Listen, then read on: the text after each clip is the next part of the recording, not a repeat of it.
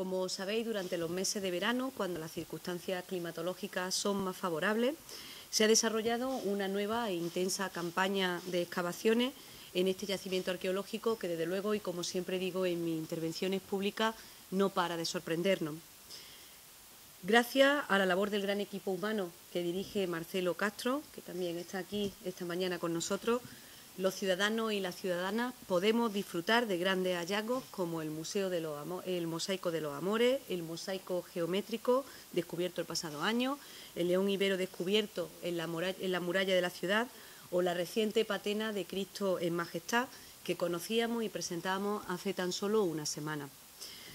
Hablamos hoy de resultados, es un balance y hablamos de resultados que son grandes resultados y que se han podido conseguir en parte gracias también al esfuerzo de la Junta de Andalucía, que ha realizado y sigue realizando una apuesta importante por este yacimiento arqueológico. Una apuesta que comenzó en 2011, cuando en julio de ese año se creó el conjunto arqueológico de Cástulo, que como saben ocupa unas 3.200 hectáreas en los municipios de Linares, Lupión y Torreblasco Pedro. Y esta apuesta se consolida año tras año con el mantenimiento de este conjunto arqueológico en el que trabajan 18 personas a las que se suman cada año personas que son contratadas eh, gracias al proyecto Forum 2010. Desde la Consejería de Educación, Cultura y Deporte son más de 550.000 euros los que cada año se presupuestan para atender las necesidades de este yacimiento que se ha convertido en un referente de investigación eh, no solo en nuestro país, sino también fuera. La investigación debe ir indisolublemente unida a la difusión. La investigación sin difusión del conocimiento pues se queda en un ámbito estéril que, que no favorece nada y en este sentido quiero decir que los resultados de la investigación en Cástulo pues han tenido muy amplia difusión. Sabemos que revistas especializadas como National Geographic o informativos tan respetados como los de la BBC e incluso agencias de noticias tan prestigiosas como France Press han llamado a las puertas de este yacimiento, de esta ciudad ibero-romana, para conocer lo que se estaba haciendo y para trasladarlo al resto del mundo. Se ha generado un foco de interés muy importante en torno a Cástulo que no solamente proyecta una imagen muy positiva de la ciudad de Linares, sino también una imagen muy positiva de nuestra provincia como una provincia en la que se crece gracias también a las ismas de maíz. Y eso es algo fundamental. Aunque el director del conjunto arqueológico, Marcelo Castro, nos va a detallar en breve instante los resultados de todas estas excavaciones que se han realizado durante el verano de 2014, vuelvo a, repetir que estamos muy, muy satisfechos con los resultados obtenidos. No solamente se nos va a quedar en la retina este año el hallazgo de la patena de Cristo en Majestad, sino que es eh, justo subrayar que se ha avanzado también en distintos frentes que son muy importantes. Por un lado, el equipo de investigadores que dirige Marcelo Castro ha podido continuar con los trabajos en el área 2 de la ciudad antigua, donde se encuentra, eh, eh, está justamente en el centro monumental de Cástulo. En esta zona han aparecido representaciones como la del dios Neptuno en un carro tirado por hipocampo, así como también hemos podido conocer más sobre el edificio E, que es el lugar justamente donde se encontró la patena.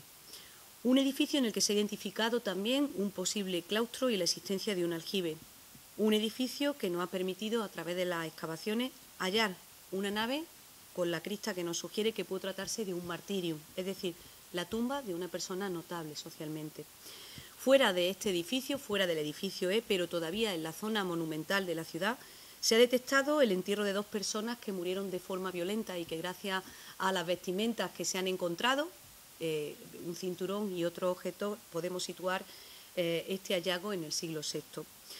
Las nuevas zonas exploradas no abren nuevos horizontes con la exploración de una posible torre situada en un vértice de la ciudad que tiene una planta de 300 metros cuadrados y una altura de 20 metros.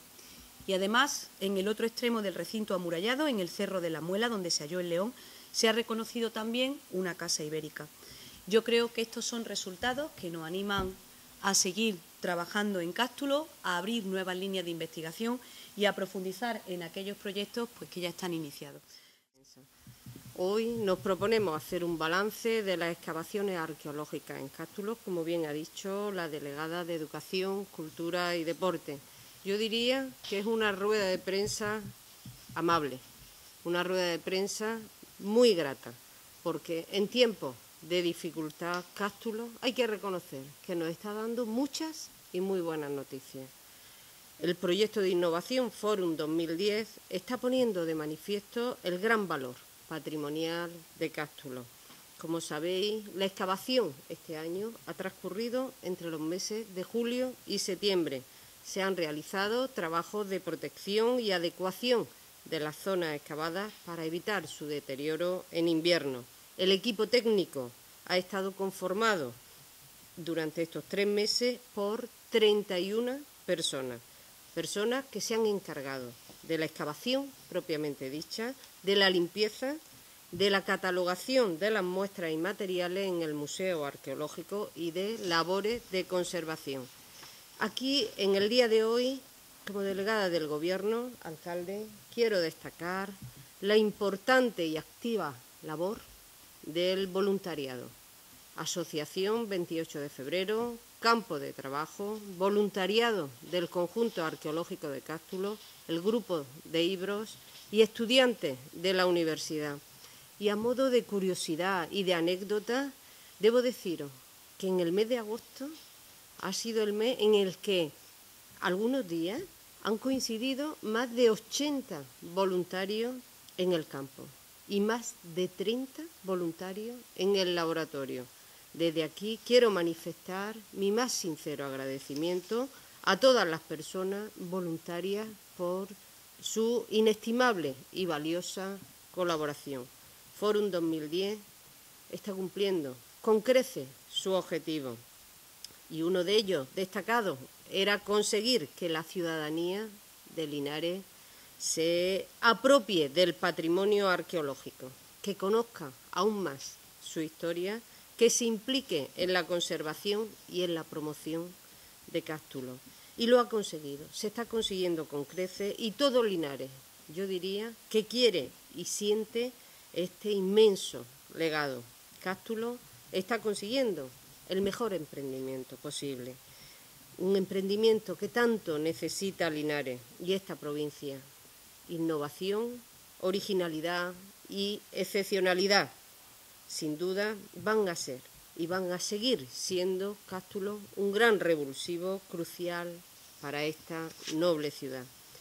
Fijaos, sin ir más lejos, la amplia repercusión que este fin de semana ha tenido, han tenido el espectáculo de gladiadores, la primera edición de Juegos Ibero-Romanos, toda una muestra de que Cástulo, ligado a una buena idea y a un buen trabajo, puede seguir albergando grandes proyectos y con unos grandes resultados para la ciudad.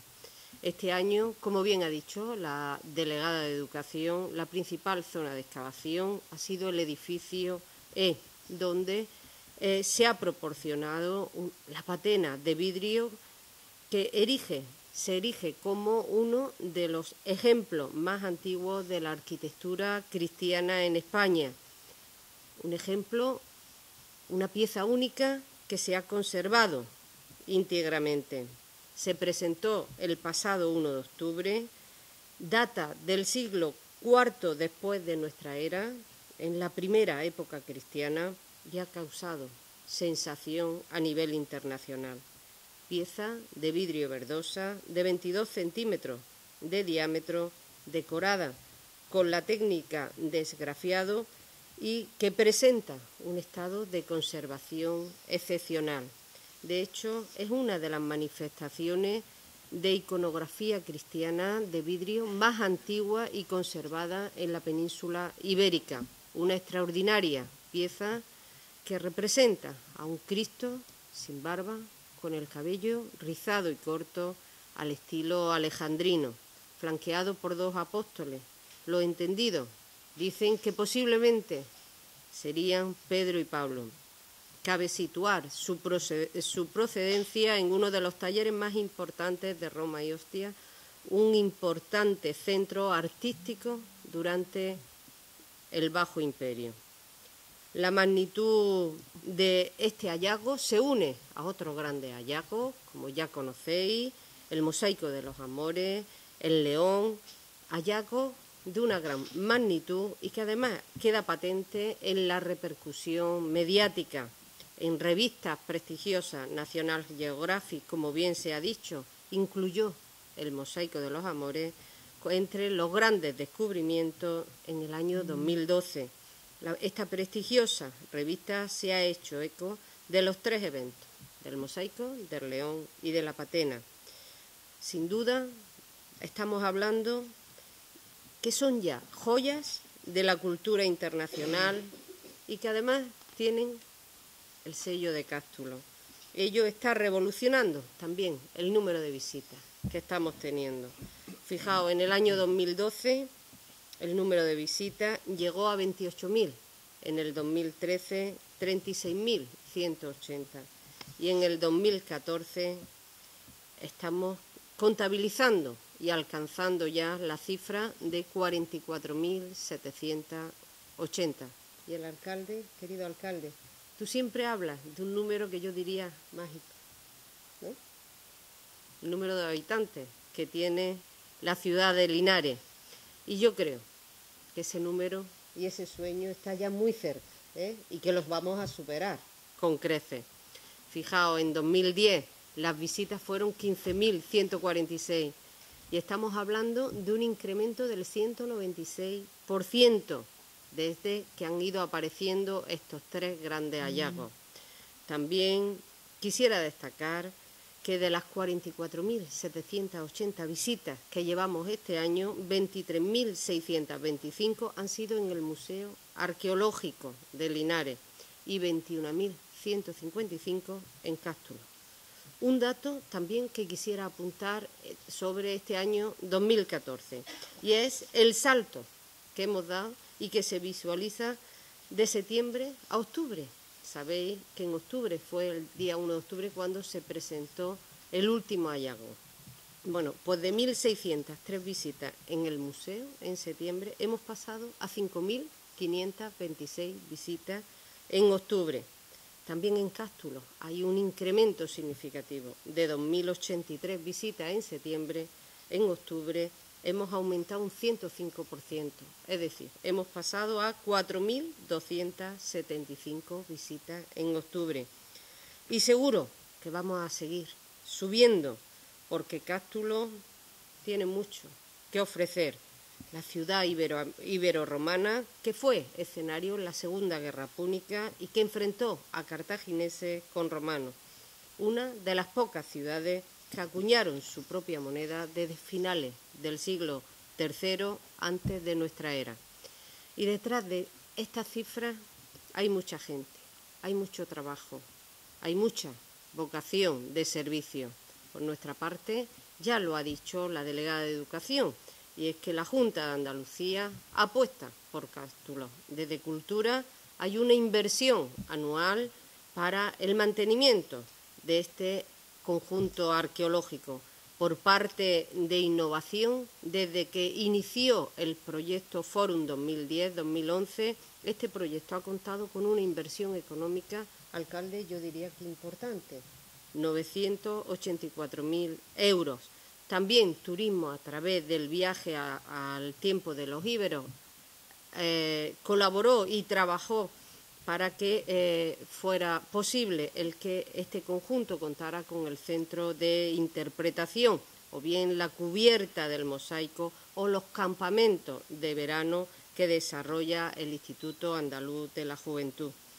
Y como sabéis, la Junta para nosotros es una prioridad la creación de empleo, prioridad que comparten nuestros alcaldes y concretamente el alcalde de la ciudad de Linares, un alcalde comprometido con su pueblo y es por ello que también tiene la habilidad, diría yo, de puestos de trabajo a través del programa Empleo Joven y Emplea 30, destinarlo a este conjunto arqueológico, a Cástulo. Concretamente me pasaban que 30 personas, ¿no, alcalde?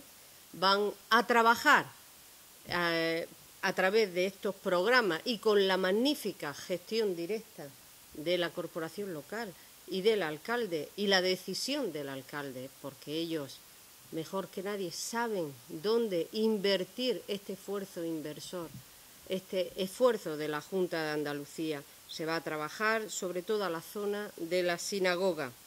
También, a partir de este mes, técnicos investigarán en el Museo Arqueológico el material encontrado este, este verano en Cástulo y harán tareas de catalogación, conservación y restauración. Y os puedo decir que esto es decisión de la Administración local y de este alcalde que tengo a mi izquierda, de Juan. No quiero dejar atrás también de mencionar, solo menciono y ya termino, proyectos muy interesantes que se han desarrollado en torno a Cástulo y que además centran y eh, suenan siempre en el epicentro del turismo y de la cultura. Estoy hablando de proyectos como Sobrevolando Cástulo, que en Fitur presentamos. También en septiembre tuve la oportunidad, junto al alcalde, de presentar la digitalización del León que ha realizado CTM y, eh, bueno, deciros que también, por otra parte, fue este año, ha sido bandera de Andalucía el proyecto Forum 2010 y ha conseguido otros premios como Jaén Paraíso Interior. Paro ya porque podíamos estar hablando todo un día de Cástulo porque la emoción con este proyecto yo creo que nos embarga. Y vamos a seguir trabajando porque, como bien dice el alcalde, se lo he escuchado muchas veces a él, hemos llegado a, muy poquito de descubrimiento, nos queda mucho por hacer y por apostar por esta, por esta mina, yo diría, que tenemos aquí en Castro, los. Eh, como saben, desde el 2011 hemos venido trabajando en el centro monumental de la ciudad de Cástulo y concretamente habíamos seleccionado dos lugares de ese centro monumental para explorar más detenidamente. En este año las intervenciones se han concentrado en el área que llamamos dos y tenían por objeto varias, eh, examinar e indagar en varias particularidades eh, de la estratigrafía que se conserva en este sector. Por un lado pretendíamos conocer y tener más datos respecto al edificio del que forma parte la sala del mosaico de los amores. Eh, hemos obtenido nuevos datos sobre una sala que veníamos considerando el vestíbulo, una, un área de distribución dentro del edificio. Eh, ese es un trabajo donde se han concentrado especialmente el equipo que nos ha ayudado de, Ibro. Y de nuevo eh, hemos completado algo más el mosaico de tipo geométrico que ocupa esa sala y hemos obtenido también algunos datos adicionales sobre el entorno del propio edificio. Por otro lado, en esa misma línea, hemos pretendido avanzar la excavación hacia el, hacia el oriente, eh, tratando de documentar otras partes con una orientación particular que ya habíamos detectado los años anteriores. Ahí lo que nos hemos encontrado es una continuidad de las construcciones de época bajo imperial que nos han impedido ver lo que hay debajo, eh, de que, eh, que hay otra arquitectura nos están, nos están ocultando. De manera que, en definitiva, el edificio del Mosaico de los Moreses nos sigue resistiendo a que le podamos poner un cierre definitivo. Hasta ahora, como saben, venimos sosteniendo que pudo haber albergado la sede del culto imperial, concretamente eh, el área donde hemos venido trabajando, eh, correspondería a una edificación del reinado del emperador Domiciano. Eh, esa es una línea, de, una, línea de investigación que venimos sosteniendo en los últimos tres años, pero no haría falta y buscábamos obtener una prueba definitiva que descarte otras interpretaciones de ese espacio. de nuevo aquí el edificio se nos resiste y, tampoco podemos concluir definitivamente que esa hipótesis la, vayamos a sostener eh, siempre. No obstante, si hemos tenido límites para conocer el edificio Alto Imperial, eh, han procedido fundamentalmente de la entidad y de la consistencia que tienen otras edificaciones de época bajo imperial que se superponen. De manera que, eh, aunque hemos concentrado el trabajo en el llamado edificio E, eh, también hemos comprendido que en el entorno de ese edificio se encuentra una ocupación con una notable intensidad en los siglos IV y V De manera que no solamente estamos hablando de un edificio religioso aislado, sino que en su entorno inmediato dispone también de dependencias que tienen que ver con la vida diaria. Eh, no solamente están orando o, está centralizada su actividad en el edificio religioso, sino que hay otras edificaciones que tienen que ver con la vida y con la producción cercana y que nos, eh, están mostrando eh, los primeros indicios de la presencia en ese lugar de un complejo arquitectónico de una especial relevancia. Como se ha señalado, el, centro de las intervenciones eh, han sido obtener una planta completa del edificio E, el edificio que ya habíamos atribuido un uso religioso eh, años atrás y donde ya se reconocían dos eh, elementos característicos y distintivos de este lugar. Por un lado, la, nave o la capilla sobre una crista que responde a la tipología de un martirio. Por otro lado, la existencia de otro pequeño espacio en torno a la pila que, lo, que eh, planteamos comprender como un, batisterio. Eh, además de esos dos elementos que ya conocíamos, el esfuerzo hacia el lado oriental nos ha llevado a reconocer la entrada al propio edificio que se produce a través de un área eh, de transición, un, un arte, un pórtico, que separa el exterior del interior de ese, de ese edificio y que además tiene asociado otros dos espacios en, esa en, la fachada principal que tiene el edificio, en uno de esos espacios en el que apareció la patena de vidrio en Majestad. Eh, significa, en este caso sí, eh, un hallazgo que no deja lugar a dudas sobre la función que en su día tuvo ese, edificio. Lo mismo que la patena nos sorprende porque responde a, una, eh, a unas soluciones iconográficas que todavía no están maduras ni son las que finalmente van vamos a reconocer como dentro de la tradición cristiana. Se trata, por tanto, de un, momento que podríamos llamar preformativo en, en, la propia iconografía, donde no se han definido los rasgos definitivos ni de Cristo ni de los apóstoles. De ahí viene la duda que tenemos sobre qué dos apóstoles son los que están representados. Sabemos que en ese tipo de escenas los dos apóstoles que se seleccionan son Pedro y Pablo, y podría ser este el caso. Pero lo mismo que ocurre con el Cristo, ninguno de los dos tiene todavía los atributos que van a ser característicos. Y lo mismo nos ocurre con la arquitectura. Sabemos que la arquitectura cristiana inicial va a tener su edificio prototípico en la basílica, una referencia arquitectónica que toman del antiguo Palacio de Justicia, por llamarlo de esa manera, de época romana, que adaptan a su uso. En ese momento estamos hablando ya de una comunidad extensa y consolidada. En este caso estamos, de una, estamos hablando también de una arquitectura preformativa. Estamos hablando de una comunidad muy temprana que acaba de emerger a la legalidad en los primeros años del siglo IV y que construye ese primer edificio donde todavía no están consolidadas las tipologías que vendrán después a lo largo de ese tiempo.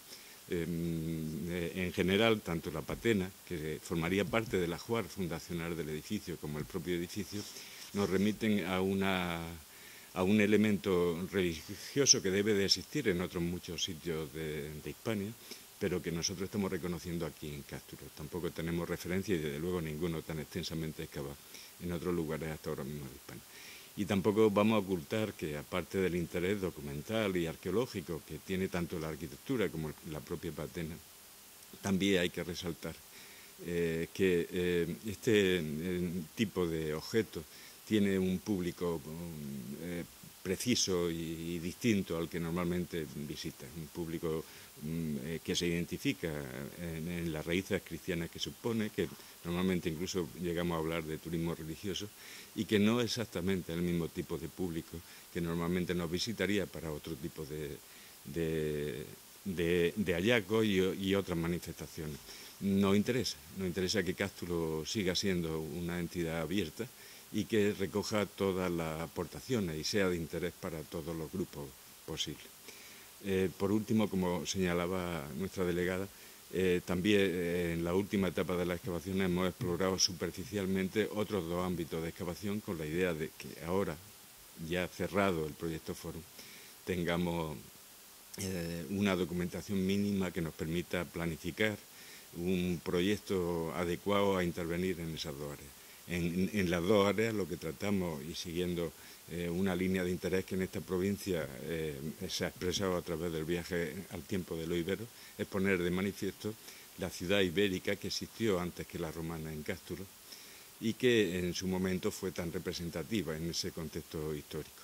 Se han elegido para buscar esa ciudad indígena dos puntos alejados dentro de las dos mesetas más altas de Cástulo. Uno, pretendemos recomponer una eh, imagen completa de una casa de ese momento, de mediados del siglo III, que es abandonada a raíz de la conquista romana, y en el otro un elemento defensivo, una torre que eh, se ha reconocido de siempre en la superficie de Cástulo, pero que por su posición dentro del recinto amurallado de la traza de la muralla resultaba clave al conectar varios sectores, la muralla urbana con la propia acrópolis de la ciudad y que ahora también esta limpieza superficial que hemos hecho eh, hemos detectado también que se trata de una obra claramente púnica y cartaginesa, de nuevo como, eh, como la casa que comentaba antes, fechada a mediados del siglo III antes de Cristo y abandonada eh, a raíz de la conquista cristiana, de la conquista romana algún tiempo después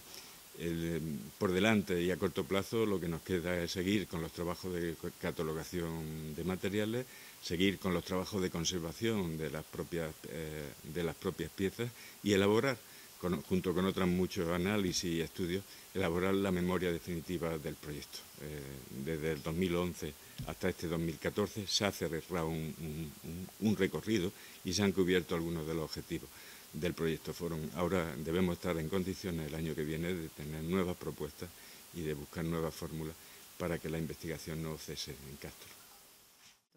Y nosotros vimos potencial en, el tema de, Cástulo y ligado al viaje al tiempo de los íberos, pues las grandes inversiones se han producido en, Cástulo. Eh, pues las últimas y las más recientes, pues la parte y los trabajos hechos en la muralla, que dio el descubrimiento de esa puerta del león y el propio león, Em, el tema de la cubierta, que yo creo que era fundamental, que tuviéramos una cubierta no solo para preservar de la intemperie a, lo que es el propio mosaico, sino también para facilitar la visita turística. Y por otra parte, pues también hemos hecho algunas labores de paneles interpretativos, renovarlos, porque ya hacía años y había que, que mejorarlos. Todo hemos intentado además que lo hagan empresas jiennenses, que también es importante. Em, a eso sumamos, bueno, pues se han hecho otras intervenciones fuera del viaje al tiempo de los iberos por parte de fondos propios de Diputación, como puede ser el acceso o como puede ser el tema de, la luz y del tema del transformador que necesitaban. Y digo todo esto porque al final eh, yo sé y soy consciente de que son tiempos muy complicados y que hay necesidades urgentes y otras importantes. Pero desde luego Cástulo es una inversión y es una inversión que está también generando empleo. El que vengan cuarenta y tantas mil personas o finalmente sean setenta mil personas, aparte del orgullo que nos puede entrar a todos los que vivimos aquí en Jaén y fundamentalmente a los que estáis en Linares, supone dinero, dinero para esta provincia. Y supone que la economía local de nuestros pueblos, que al final es la que está aguantando el, el tirón de la crisis, pues puede respirar y supone que bares, que comercios, que la gasolinera, que el restaurante, que el hotel, que el alojamiento rural tenga un poquito de aire, que obviamente lo, necesita, dado que sabéis que tenemos una dependencia muy fuerte del turismo nacional y por mucho que algunos se empeñen en ver las raíces vigorosas, pues lo cierto es que te paseas por los pueblos y las cosas están como están. Entonces es importante que ese, ese trabajo que se ha hecho en Cástulo y que no ha parado, no pare. Y aquí entra un poco la parte reivindicativa. Es decir, mm, yo creo que ese viaje al tiempo de los iberos se tiene que renovar. Y además estoy convencida que no solo por las cifras turísticas, sino, bueno, pues yo no sé cuántas veces National Geographic nos tiene que sacar para que nos demos cuenta de que esto es un filón que, como hemos dicho siempre, hay una parte nada más excavada, pero bueno, esto ya no es un, trabajo que se hace para ver qué hay. Aquí ya se sabe qué cosa que se toca, descubrimiento eh, que da la vuelta al mundo que tenemos que da imagen no solo a Linares y a Cástulo, sino a toda la provincia de Jaén, que hay gente que no sitúa en el mapa. Entonces, mm, eh, hablamos mucho de National Geographic, pero es que hemos salido en la prensa francesa, hemos salido en la prensa, en la prensa estadounidense, en la rusa, en la polaca, en la británica. Entonces, eso es importante para nosotros y además ubicado dentro del entorno de, Andalucía. Así que mi reivindicación es, uno, viaja al tiempo de los íberos, no puede parar, tiene que tener una renovación. Y si no, pues tendrá que haber algo especial para Cástulo, porque desde luego está claro que es un motor. Mi reivindicación, y nunca me cansaré de decirlo, a, a Tour España. Yo no sé qué hace falta en Jaén para que mire Tour España a Jaén. Ni un solo euro en los presupuestos generales del Estado para Jaén en turismo. Llevamos tres años así. hombre, nosotros sabemos que hay destinos turísticos muy potentes. Pero, hombre, mm, esto se trata también de equilibrar. y nosotros tenemos grandes recursos, estamos haciendo un esfuerzo, y si lo hace un ayuntamiento el esfuerzo o lo hace una diputación provincial el esfuerzo, pues yo creo que con un poquito de ayuda, ya, fijaros, ya ni siquiera dinero, promoción, que nos permita la promoción. Esto en lo que estamos es la promoción que llevamos a Fitur. Yo he estado hace poco, ¿sabéis?, la Travel Market y me he ido con cástulo y con mi aceite porque al final esto es lo que hay que aprovechar, el potencial que está teniendo ahora mismo esto a nivel mundial. Lo decía Marcelo, es que hemos ampliado el espectro del, visitante. Es que antes podía venir un visitante interesado por la arqueología y es que ahora viene un visitante no sé si, como decía él, llamarlo turismo religioso, pero el hecho de que sea una de las primeras imágenes de Cristo que se ha visto, pues obviamente atrae a más gente. Entonces, yo sí reivindico, mm, entiendo que en, los tiempos no están para destinar grandes cantidades a temas de excavaciones arqueológicas, pero creo que Cástulo, donde cada vez que cavamos hay una sorpresa grata para toda la provincia, merece que por lo menos el trabajo no tenga un parón. Y por último, agradecimiento. Mm, yo lo primero que agradezco obviamente siempre es al alcalde, no porque al final sea compañero mío de partido, porque sea el alcalde, no. Yo creo que esto, si tiene esto y esto ha funcionado, ha sido porque alguien se lo ha creído. Tenemos la suerte de Linares de tener a alguien pues también muy reivindicativo, que se cree y exige lo suyo. Y eso ha hecho posible, bueno, primero que estamos aquí todos sentados, segundo que eso no se pare. Y tercero, pues que, por ejemplo, los Juegos Ibero-Romanos hayan sido una realidad. Es importante. Aquí en Linares existe una concienciación y un orgullo que se ha hecho a través del trabajo de los voluntarios. Pero es importante que se sepa, que Jaén entera se sienta orgullosa de esto. Porque esto es de los de Linares, pero es de toda la provincia. Entonces, los Juegos Ibero-Romanos, un acierto. Y además hechos también por otra empresa jiennense, por Semer. Por otra parte, yo quiero agradecer, obviamente, pues bueno, pues las administraciones hemos puesto nuestro granito de arena, pero creo que es nuestra obligación. Los voluntarios y las voluntarias. Sabéis que nosotros le dimos el premio Jaén Paraíso Interior, lo decía la delegada de gobierno, y se lo dimos precisamente a la gente, a la gente que ha puesto y que de manera altruista ha estado aquí. Pero yo quiero hacer hoy un agradecimiento especial, que es a Marcelo, porque al final mm, él tiene su trabajo, es el director del conjunto arqueológico, pero es mm, una suerte para esta provincia tener a profesionales como Marcelo y en el nombre de Marcelo, del resto, pues conocemos todos a Manuel Molinos, a Arturo, pero al final alguien que siempre, que siempre que habla, que siempre que está en un medio de comunicación, dice algo positivo de Jaén. Y es tan importante, Marcelo, que al final, dentro de todo lo que nos está cayendo, hablemos también de lo positivo y creo que desde luego es de agradecer y además espero que lo siga haciendo, que lo siga haciendo y por supuesto que además cuanto más salgan mejor, porque para nosotros, pues nosotros nos dedicamos a esto de la política y sabéis que muchas veces es complicado que la gente nos escuche, pero al final tener la suerte de tener al equipo una persona como Marcelo hace que la gente lo escuche y además le hace caso y tiene que venir todo el mundo a Castro. Así que muchas gracias, Marcelo. Y por último, deciros que nosotros, desde luego, vamos a seguir apostando en la promoción por llevar como bandera Cástulo, yo creo que sería muy poco inteligente no hacerlo y siempre que vamos a nivel internacional, pues desde luego es alguna, no os pueden imaginar lo que yo puedo sentir como diputada cuando habla una de Cástulo y la gente dice, ah, sí, Cástulo. Bueno, es que mm, nos cuesta muchísimo cuando salimos al extranjero situar Jaén en el mapa, porque alguna gente no sabe ni que estamos en Andalucía. Y lo digo tal cual lo siento. Pero cuando tú sales y la gente habla de Cástulo, por favor, mm, vamos a aprovechar el tirón de los medios de comunicación, vamos a aprovechar el tirón de ese último descubrimiento y vamos a no dejar que esto tenga ahora un parón, porque ese parón supone también un parón para esa economía local que he dicho al principio. Así que, bueno, sabéis que Diputación nosotros vamos a seguir apostando.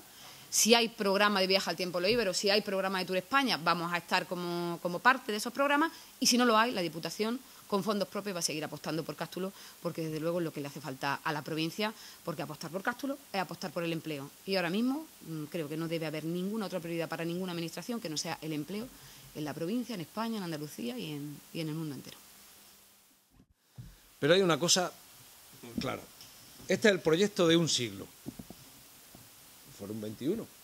Eso no está ahí puesto por gusto.